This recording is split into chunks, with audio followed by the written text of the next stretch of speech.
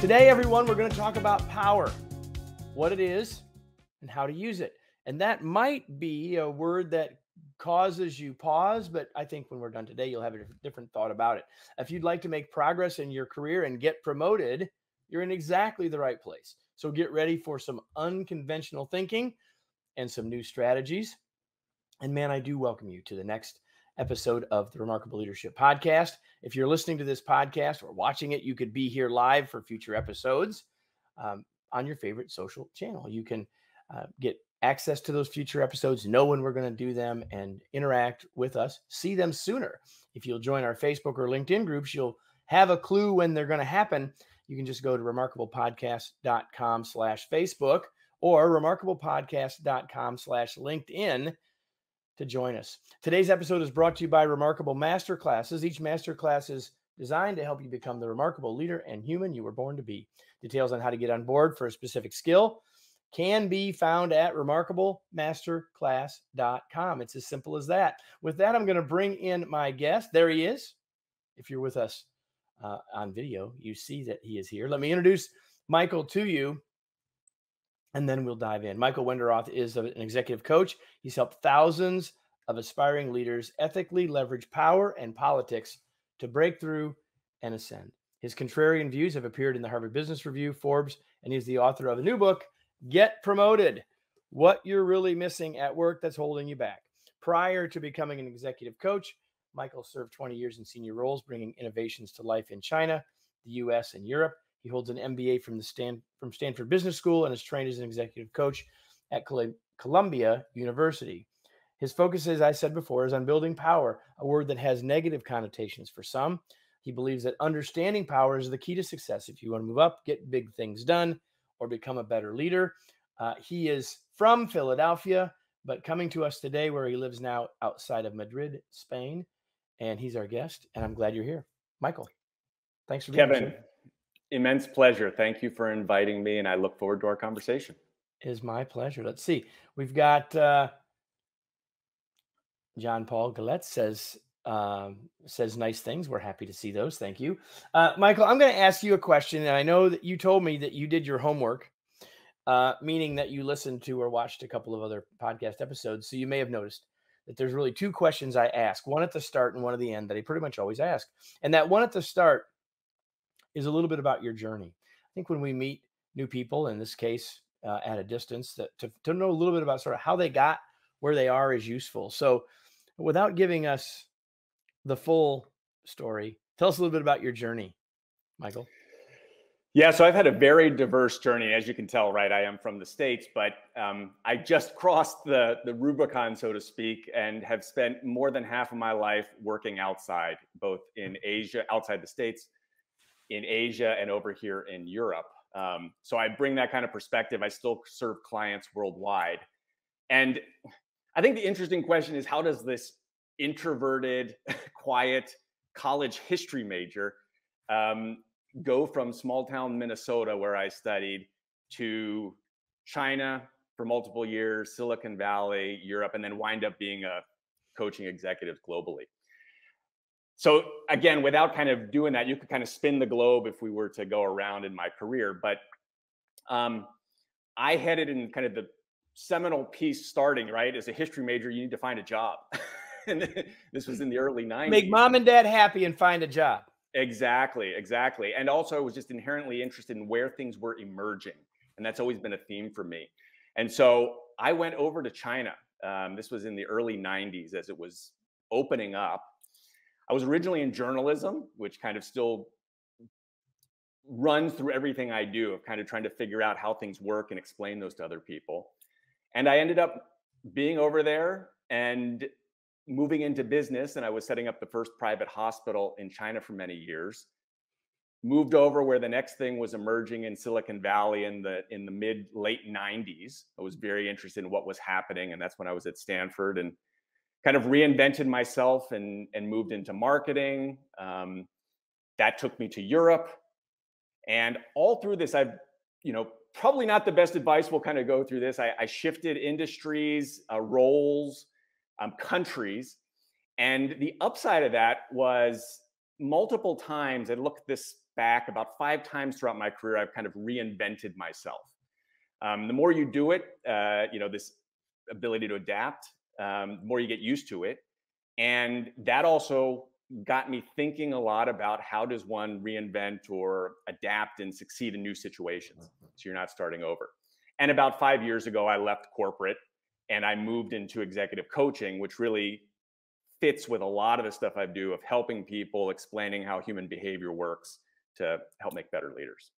So let's just start there. So um, if you're coaching someone uh, who is thinking about making a major shift like you've done multiple times, what's your advice to them? So maybe someone who's listening who's either thinking about doing something like you've done or doing that again, uh, or or maybe has already been in two or three of those uh, phases or, or or chapters and is now looking to to move really forward from where they are. What's your advice around all that? Well, the one is for them to almost do kind of an inventory of things that they are interested or where they want to move to. But more importantly, a lot of people think very kind of binary, like, you know, they're leaving their company or they're staying, or they're doing this or they're that. And as soon as you see binary thinking, it's expand some of the options, number one. And then the second is, especially when you are making transitions and shifting to new areas, is think in terms of experiments you know, the, the saying the grass is always greener on the other side. I see a lot of people kind of shift over, or I'm so sick of my corporate role, then move over and realize, hmm, it's not all that it was cracked up to be.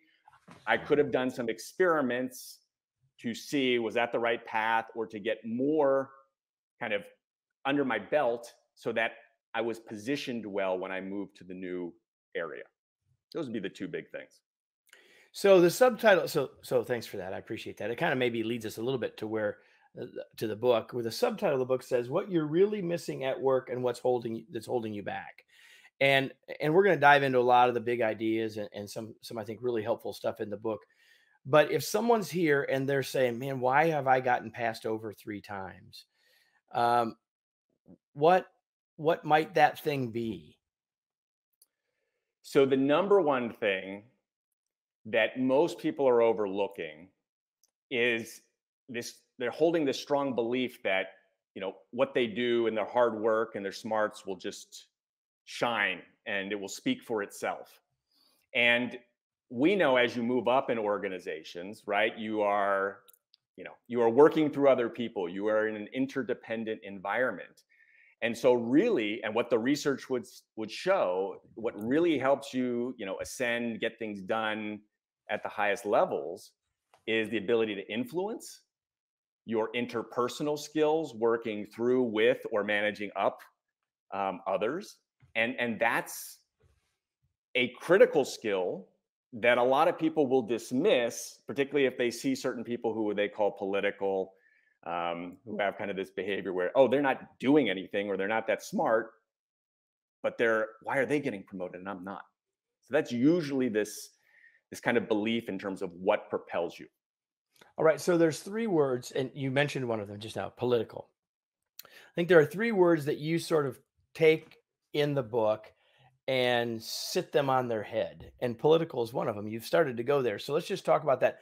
You you I think that and I think you say this in the book that there are mindset shifts that Correct. you would encourage us to think differently about these three words. So I'm going to say these three words one at a time and help us think about maybe where people go normally and where they might go instead. That might be more helpful. And that let's start with that first one. Yeah. People are political or they're playing politics.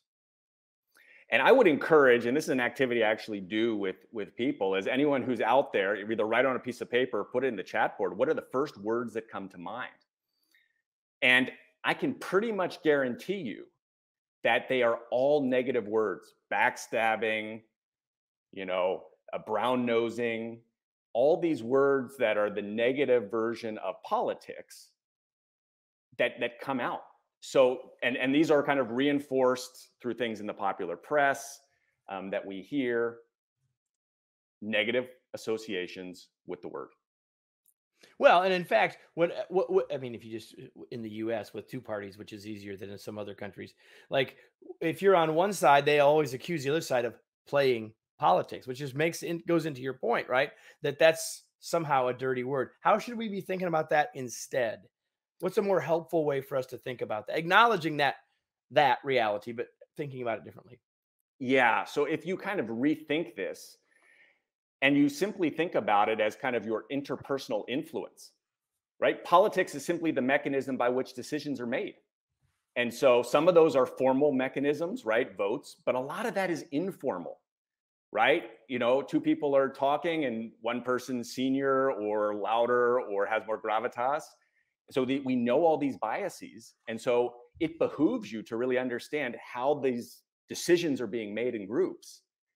And you know, you either want to be aware of that or you may actually leverage some of those things, those interpersonal influence skills, your ability to form relationships with people who have influence. You're going to have to work with with those people in organizations to get stuff done. Okay, second word, uh, authenticity.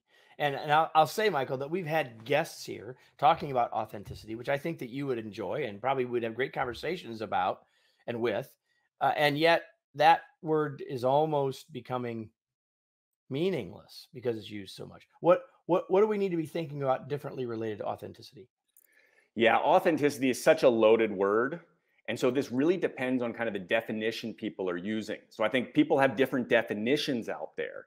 And so it behooves you to kind of first think about what your definition is or how other people are defining it because it can mean like if we just really quickly think about it does authenticity mean to say everything like that's on your mind, which I think some people are using it in that way.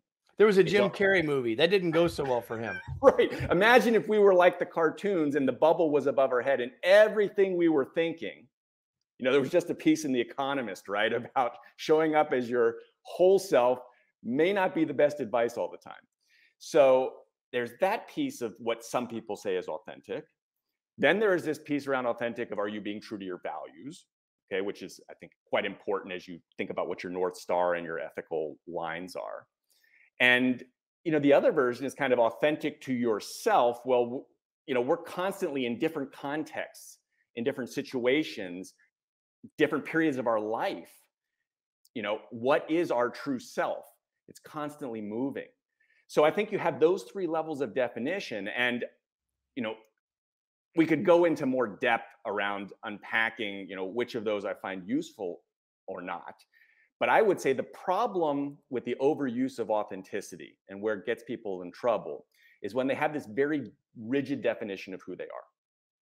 You know, I am this, I can only show up this way, I will say these types of things. And as we know, we're constantly growing or evolving, you know, in our careers as people. And so sometimes people will hold on to authenticity too tightly and say, I won't do this, I won't do that, and makes them rigid and causes them not to want to learn new behaviors, strategies, or skills. And that's where growth comes from, right? Because it's either uncomfortable or they're saying it's not them.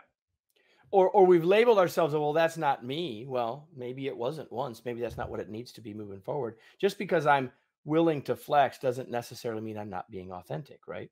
Right? Uh, because who I am is changing. So the third one of those three things uh, is where we started at the beginning uh, before I even introduced you, and that's with that five-letter word, loaded with loaded, loaded with with thoughts, which is power.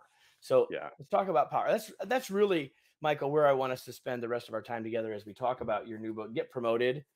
Uh, you can see it here if you're watching. Get Promoted what you're really missing at work that's holding you back. Let's talk about power. Because to me, as I told you before we started, this is a book about power, in my opinion. Mm-hmm. Um, lots of negative baggage around that word, right? So, yeah. talk about how we should shift our thinking around power.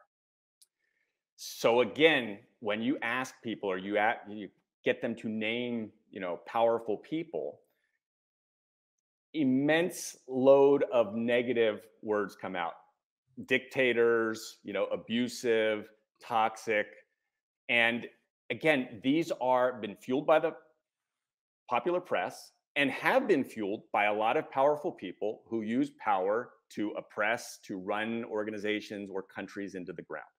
So that definitely exists out there. But if you pull back in this idea that we were talking about of reframing, if you really look at the definition of power, you know, go to the dictionary, it is very neutral. It is nothing more than a force by which you get things done. And it's invisible, it's omnipresent. Anytime you're with two people, there's always a power dynamic that's going on. It's kind of invisible. And so the fact that most people shy away or reject it is problematic because this is actually a very powerful mechanism, which, if you understand how to harness it, okay, or build it, you know, one, you can see things going on around you, so called, you know, power plays that might be going on in an organization that might be detrimental to your career or your initiatives. But the second thing is understanding it is then to say, hmm, if I can break this down and, and be less non judgmental about it, I can think about how to use these forces for, and I'm just going to, you know, say good in this sense. And, you know, it's like leverage. It helps accelerate your impact, can help accelerate you in terms of what you're what you're doing. And, and I would just encourage people to think about if we switch this to an analogy. Think about power like fire. So fire, you just take that, you could burn everything down right? Very destructive force mechanism. But power also, power the whole city, power the whole, light up the whole nation, warm all the houses, feed people, move most all the vehicles. Yeah. Yeah. And so people don't want to talk about it. And then here's where we see those who really want to harness it. A lot of them are using it for their own purposes, which may be at odds with what's good for the greater number for their own personal benefit. And those who have rejected it then put themselves at an inherent disadvantage when they could be using it as well to do lots of great things, be that for their careers or their teams or their initiatives. Yeah. So, so if we take that analogy of fire, right? Power is like fire. Well, we, we don't have to have a lot of experience to know that, well, for fire, we need fuel and oxygen. Like they're that's the sources of the fire, if you will, right? And you talk in the book about the sources of power. You talk about five of them, and I don't know. We won't have time to go deeply into all of them. Um, one of them is political skills. We've sort of talked about about what you mean by that, so we'll, we'll sort of move past that one. But let's talk about some of the others. And and it's interesting to me that especially for this next one, it's another word that people sometimes they don't have quite as negative a feeling about as they do with power, but they'll roll their eyes when I say right. network.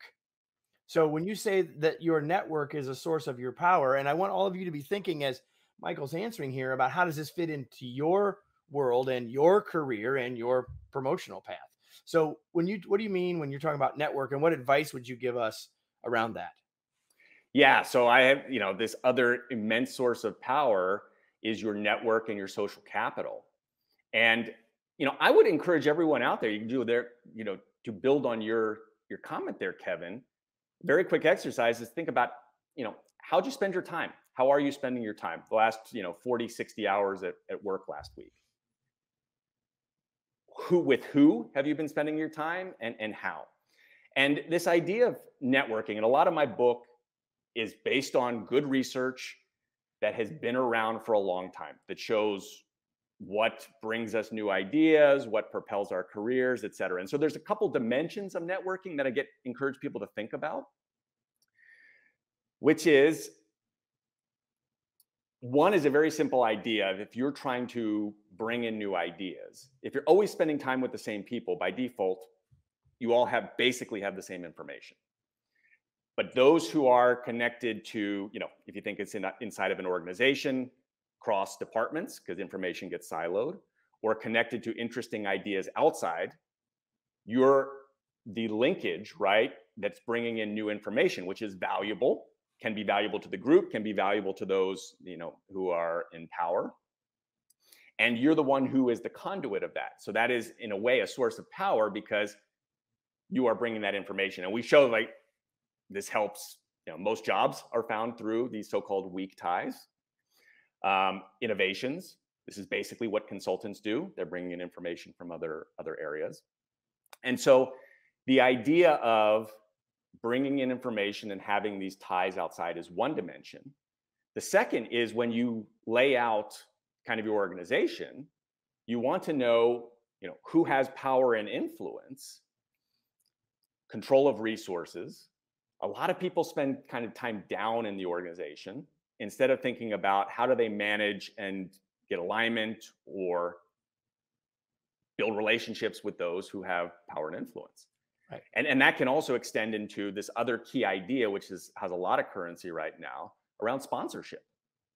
I mean, we know that those who are anointed early, right, high potential, um, have sponsors, have one on ones with those at the top, they are introduced to new initiatives. They're talked about during succession planning. They are given disproportionate resources. I bet you in your company, most people don't even know like there's special programs for those who have been anointed. And so this idea of who you're in relationship with, who you know, is really important to thinking about your career or helping you get your initiatives done.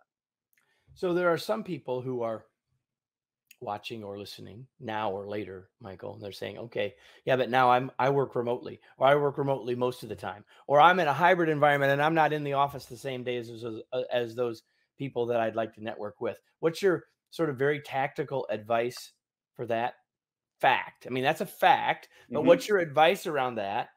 Um, if you were to, to to give that right away.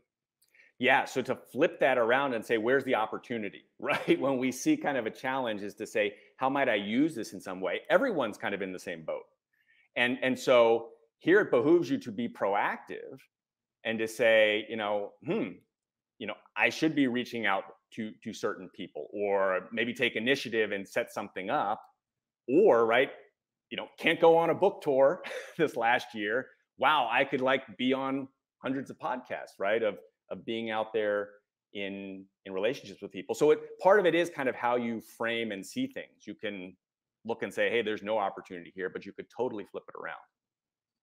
Yeah, and I would I would add to that, and, and I agree with that 100. percent And that is, we we shouldn't be. And I, I'm guessing you would you could add to this. We shouldn't just be thinking about the network that we're doing. Say if we're in a larger corporate organization, which is sort of the way I framed what I just asked. Yeah. There's a lot of people we should could be should be thinking about networking with that go far beyond the people that we saw in the office before anyway. Fair? Exactly. Exactly. Yeah. yeah. So there are three other sources of power that you mentioned, and one of them is control of resources, which is kind of more obvious-ish, like that mm-hmm. really you do have resources, or maybe some positional stuff that comes with that one. Um, and and there's one on executive presence and communication, that one probably doesn't surprise people as much. The last one I want to talk about is one that people might think, again, a little differently about. Uh, and that's the idea of your visibility or brand. And I think you bumped up against this idea a couple times already. Most people yeah. think of brand and they think of Coca Cola, M and M's, whatever. Um, and I, I, it, that makes me sound like I'm hungry. I only used food examples. Uh, I could say Canon or Dell. Those are two things I can see in front of me right now. Um, right. But we think about brand, we think about you know consumer product stuff. Mm-hmm. You're using that word for us. What's our brand? How visible are we? You want to say a little bit more about that? Maybe give us a couple of tactical ideas there. Yeah. So brand is is essentially you know if we use the, the definition that I, I use in the book and i favor is kind of you know what are other people saying about you when you're not in the room? And so, like it or not, you know, this example of products, you know, we have a brand in our companies. You know, what do we represent? What do we stand for? How do people know of us? And, you know, it's a simple saying too, right? You cannot promote what you cannot recall, what you cannot find and this is really important in organizations is you know that that you have some visibility and people associate associate you with something. Um, because again those conversations there's a lot of kind of bias and so forth that happens in organizations when when there are conversations around succession planning about who to put on projects. You want to be part of that conversation even if you're not in the room. So your network what we talked about before sponsors thinking about that but also ways that you can ensure that you have visibility because there's also biases, right? In a group, well known research shows that we associate one person as the leader. And also got news for you, right? Not everyone's got purity of intent in organizations. So someone is likely, you know, this negative side of politics that we talked about, maybe taking credit for your work. And so it behooves you to manage some of the narrative, to be part of that conversation, and not just to keep your head down all the time and assume that things, you know, people are talking about you. They're probably not because people are incredibly busy. And so, to your point of kind of very tactical things you can do, is one to be aware of it, right? You cannot promote what you what you cannot recall. And you know, this isn't about. I think there is some level of of of owning what you do and and taking credit or making sure right you're getting credit for things but it's not about kind of over self promotion the best kind of promotion is other people talking about you right? So building relationships with those people mentioning to sponsors right what you're interested where you want to go in the company. But some of the more creative things and i talk about a lot of these examples in the book to go back to this part around networking right? It's not about just always showing up in mixers but to take strategic positions, roles. So, project managers are great examples, right? If they are running a cross functional project, information and so forth flows through them, which gives them an advantage, which then can also be used to, to build relationships, to provide information first to important people, which creates visibility. So, these are things that you a lot of people will say this is not part of my job in fact it's like it's not doing my job if i'm doing those things but i would argue the opposite that it is a very important part of what you do particularly if let's say you're managing a team and i see this all the time right? We care a lot see all these self-effacing leaders who want to see their team grow. Well if you're not part of the conversation know which way the strategic winds are blowing know where the opportunities are coming from you're not helping your team. Yeah, and, and it's not, and I love the how you said that because it's not just about well, I'm I'm not doing my job because I'm trying to take care of me. No, when we're doing that, we're actually helping our entire team. And and if you're a leader saying, "Well, I don't have time for that," you're probably spending too much time, as Michael said earlier, looking down in the weeds of the work. Where you need to trust your team, delegate more, so you can do this higher value work that not only serves your team and the larger organization, but also happens to serve you. Yeah, uh, exactly. And this point, Kevin, is, is is really important. I think for because a lot of the these kind of humble, hardworking, smart leaders who who hit the ceiling, they want to help other people. And yes, you can help other people by helping yourself. And that is actually a mechanism by which kind of do this reorientation that that can propel you and and and make you realize you need to spend time networking. You need to be part of the conversation. You need to be build your brand or the, your team's brand. There are two other little, these are like little things in the book that I really liked. Uh, and I'm just going to just, I'm going to say this and just on each one, just give me about one minute on these ideas. Okay. First one is the power of asking. Tell me what, so many people worry about, well, if I ask and I look stupid or something along those lines. Why do you think asking is so powerful? Again, I go back to if we look at really good social science evidence that no one is, you know, unfortunately reading, it's we systematically underestimate people's willingness when we ask to say yes. I mean, by more than 50%. So one is to know if you're doing it, people are more likely to say yes. And people will work themselves up of like, oh, I don't know if it's my place. I don't think this is the, the right time to do it. And they they work themselves up thinking about what you know might happen when you know advocate for yourself or be direct or get clarity. And what's the worst that can happen? That's one of the things to think about, right? Well, the could get a no, or you're not getting promoted right now, and here's why. But then you have information which then becomes very useful instead of spinning your wheels for a month thinking about what the other person might say. Last thing before we shift gears and go into the sort of the round round the, the, the final turn here. Um, you use an analogy of pruning the tomatoes. So, everybody, here's your gardening lesson today. But no, you're really going to talk about something a little different than that. But tell us about pruning the tomatoes. Yeah. So, this is, um, you know, you've written multiple books. So, this is, you know, as you're writing, you, you find this analogy, and it happened to be, you know, gardening season.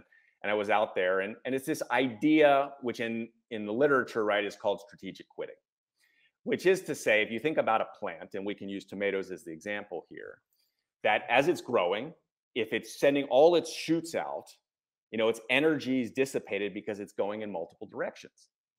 And when our energy is dissipated, right, we end up not being able to do anything really well. And particularly now with all the distractions going on.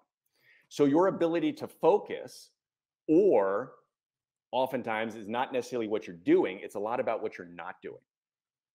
So thinking about where you need to spend less time or prune off opportunities, delegate that to people, and where you're really going to move the needle and where you want to put your your efforts. And a lot of these pieces around power, these sources of power, if you're spending more time, you know, you're increasing your influence and the levers by which, if you so choose, right, you can exercise to to, to get things done. All right, I, am going to shift gears and ask a couple of final questions. I, I appreciate everything we've talked about, Michael. The uh, the book again is called "Get Promoted: What You're Really Missing at Work That's Holding You Back." Here is what my copy looks like, and uh, so. Uh, what do you do, Michael, for fun? You're not you're not doing this every day. You're not coaching people 24 seven. Like, what do you do for fun? So, so two things I, I, I do for fun. Um, and I, I, do work a lot. I'm very engaged and I love my clients. But um, I'm a competitive tennis player. I was in college and I continue that. Um, I'm blessed being here in Spain, right? This is the golden age of, of Spanish tennis. Um, so I, you know, keep my, it's my form of meditation, getting out there and playing um, tennis. But the other thing may surprise you, which is like every year I pick a different activity that I want to kind of learn or master. And so we've been, we finished the renovation of our house. And so I'm in the phase of doing a lot of landscaping, which I find absolutely fascinating because you're coordinating all these different things. It's like a putting a, a movie in motion um, of flowers and colors and thinking about cost and budget. So that's that's been fun. Just also being outside in this whole crazy pandemic. Which is a good thing. Yeah. Um, and maybe you do it outside or maybe you do it inside but like me i know you're a reader so tell us what you're reading right now michael yeah so i'm always reading three books uh, which is sometimes a little bit of excessive but they're in different areas um, i don't read that many business books but the one that i'm, I'm reading now i love a lot actually two of them are sitting here so you know um, chip heath's and karla starr's making numbers count um, I find fascinating um, because numbers, people can get lost to them. And so if you think about how to become a better communicator, how to make numbers real and really touch to people, that's a fantastic um, quick read. And the second one, I've um, sometimes read very academic stuff. So this one will probably only appeal to a small fraction of your audience, but um, this is a gem. Um, it's uh, historical and conceptual foundations of measurement in the human sciences, um, credos and controversies um, by Derek, Dr. Derek Briggs at University of Colorado. He's in their um, research and assessment um, group. And, and so it's quite academic, fairly mathematical, but a lot of us don't really think about measurement. And there's this whole discussion right now about, you know, how do we measure educational assessment? across school systems and then also psychological you know psychological assessments in terms of even as coaching we use these assessments and he digs into the history of that and really lays it out getting you to think about that if you're a thoughtful person who cares about hey is there integrity behind numbers right um, so that's my other one and then i was reading kind of a fun one and this was for those people who have kids particularly as the summer um, i think it's upstairs but it's called stikky night skies um, and it helps you remember constellations you know within an hour all these constellations and so i think that's really interesting because as coaches we're getting people to kind of connect things very easily and so i love that i'm using it with my kids and it's summer. Get out, get this book because it's like fantastic. You will remember uh, constellations like you never have before. That's what I'm that. reading. See, folks, you never know what you're going to get here on the Remarkable Leadership Podcast. Everything from how to prune your tomatoes to how to recognize constellations and remember them. Uh, so, Michael, what you most what you most want us to remember is how to get a hold of you, how to connect with you, where to get the book, like where do you want to point people? Uh, what how do we learn more about what you're up to? Yeah, so my website, um, which is changwenderoth.com is the the best resource. There's a download of the first chapters of my book, which is also available on Amazon or wherever you get your books. And there's also resources in there um, to help people think through and adapt some of these what are feel like uncomfortable associations, um, but to help them really accelerate in their leadership journey. That's Chang Wenderoth, C H A N G W E N D E R oth.com. So now, Michael, we're not quite done. I've got a couple more things to say to you, but now I want to talk to everybody else and ask all of you a question for you to ponder uh, and to think about and actually take action on. And that is now what? What are you going to do with what you just heard? Are you going to stop and think differently about power and politics, maybe authenticity? Are you going to think about these sources of power? Are you going to perhaps say, I need to spend some time on my network or I need to work on my personal brand as it relates to how it can serve my team and my organization. I don't know what that might be for you, but if you don't take some action from today, this will be of limited value, really, at the end of at, at the end of the day. So I hope that you will take seriously that question to take some action as a result of, of having been here. And so, Michael, thank you so much for having been here. It was such a pleasure to have you. Kevin, also a great pleasure. Thank you.